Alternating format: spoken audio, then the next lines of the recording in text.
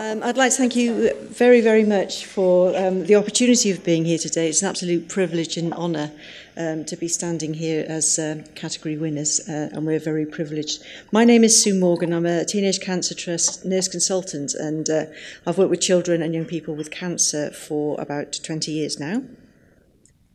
And I'm Louise Porter. I'm lead nurse for healthcare transition of children and young people at Leeds Teaching Hospitals Trust as well. And I'm a nurse by background, children's nurse, and worked in children's services for 20 years. And I've been working in my current role for about 18 months now. She has.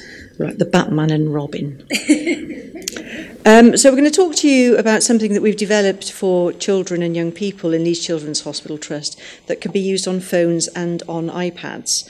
I've got my phone here just in case my cat tweets me or something, you never know. Um, so I'm going to talk to you about a website that, that we have developed and just a little bit of history really. Working with young people with, with cancer, we worked with um, somebody called Mark Wilkinson, who's a director of a firm called Mosaic North. Um, and together with him, about 12 years ago, we developed something called JTV Cancer Support, which um, which is is for children young, uh, with young for young people with cancer to relive their journeys uh, on a, on a website um, for other community, people in the community to watch those experiences. So, in discussion with him, we thought it would be really good if we could have this for the Children's Hospital, not just for cancer patients, but for all children and young people um, who are in hospital for whatever reason. Um, and so, together with him, we put in, uh, in a bid and we got some money from the Hospital Charitable Trust um, in order to fund this project. And Louise is just going to describe the website for you now. Thank you, Sim. So the the website is um, a website based TV station we like to call it, and it is based or well, set up around um, capturing patient experience. So the experience of children and young people within hospital. So they could make their own films on an iPad or any smartphones. They all tend to have them these days. They keep telling us we're old because we don't know how to work them, and they keep sorting them out for us. Blackberries are so last year, apparently. Yeah, yeah, and don't hashtag because that's for old people. um, so the site is really easy to use, and the idea is that they made their own films and they upload them to the site. Um, they can scroll through and they can have a look at films. So quite quickly, when we um, set the site up, we realised that actually this is a perfect way to give information to children, young people, and families. Um, and what we decided to do was actually just film all the wards. So all the wards in Leeds Children's Hospital, we were going to film a welcome to, so they could have a look at the ward before they came in, and they had all the senior sisters, charge nurses doing a little welcome to. Quite quickly we thought, oh, better do a welcome to the Children's Hospital, so we did that. And then we had the play specialist coming forward saying, hang on a minute, this is a really good way to prepare patients for procedures. So we went through the top 10 procedures and we said, right, what are the common things, X-ray, CT, MRI, how can we help? So what we did was we filmed um, children or young people having the procedure, we had a professional talking about the procedure, but the most important thing was to get a young person talking about the procedure. They were really keen to be filmed talking about the procedure. What we found out is the younger end are much more cooperative than the older end. They get a little bit shy when they get into the teens, um, but they're absolutely amazing. So we do use the films as preparation while they're in hospital or if they're coming into hospital. There's a little link on the letters when they're coming in so they can, they can check it out from home. If they forget anything, then they can look back. There's also, lead nurse for transition, so of course course, had a transition page within that. Um, so I negotiated um, a whole section within transition, and that's building over time. So we've been working on this project for about two and a half years, but actually was only launched last year. So we've done really, really well. We've got 100 films on the site already. The idea is that the films are embedded into the site. So we didn't go with um, the YouTube format that a lot of people were using.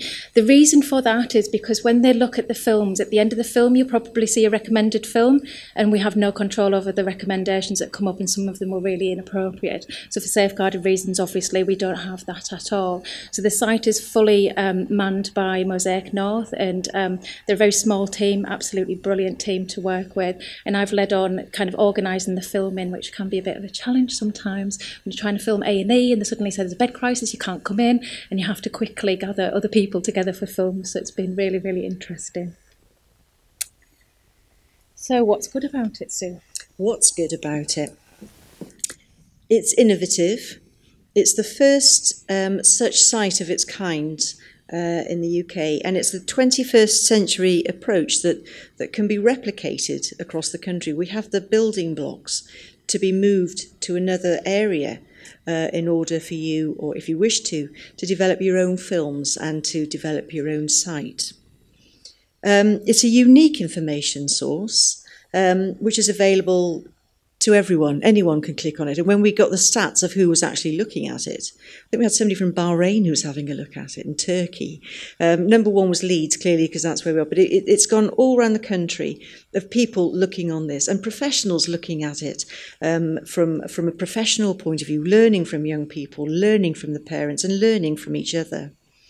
Um, it demystifies the hospital experience for children, which can be a very a terrifying um, event for them.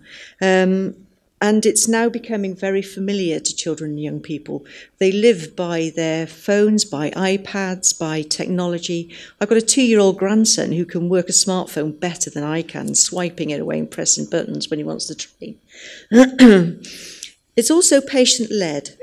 It's been shaped and created by and with children and young people, and their views have been embedded throughout everything that we do. And they, they, they create the contact for themselves that they think would be useful for them and their peers. Not what, what we think would be useful, but what they think would be useful. And it's current, it's constantly evolving, uh, and it's meeting the needs of children young people in the wider community. We've recently just done um, a film um, that, that Kath had talked to us about, uh, Kath Evans had talked to us about, um, of a young lad with, with Down syndrome and, and, and heart difficulties, leading us through um, his cardiac outpatients. And then once we'd filmed it, we actually filmed him signing, um, telling people what he was doing. So that's been a very widely looked at and watched video.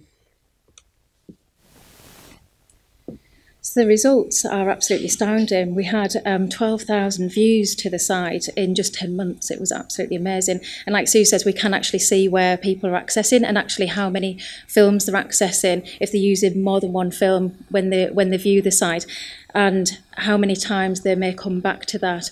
Also, um, whether they're within our kind of remit within Leeds and outside of Leeds. So we can look at the popular films, what are the things that are actually trending, and, and what where are the gaps to um, make more films, really.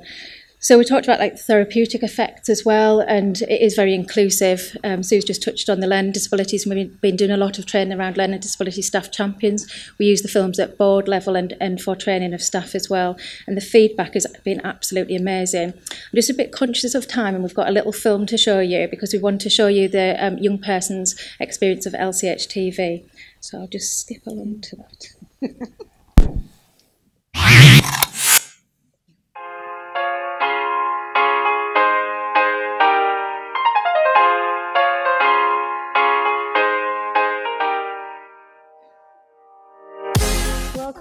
Children's Hospital, one of the largest children's hospitals in the country.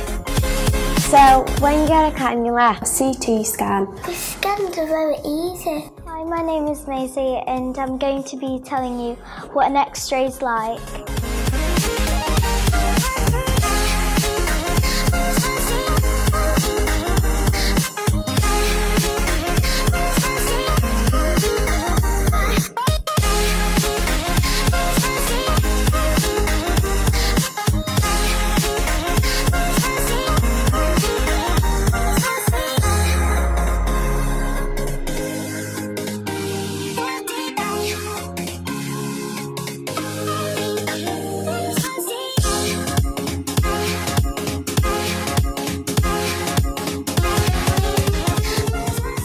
And then every time like like the machine beeps in the middle at night, that's always annoying. I'm like, I'm staying still.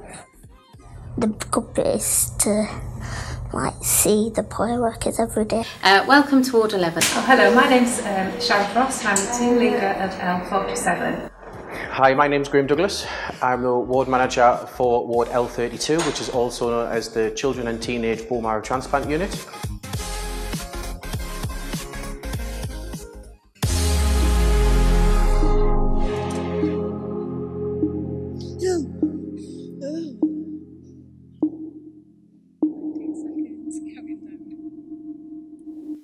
Very quickly. It's the future of information giving for all young people, patients, uh, not just children and young people.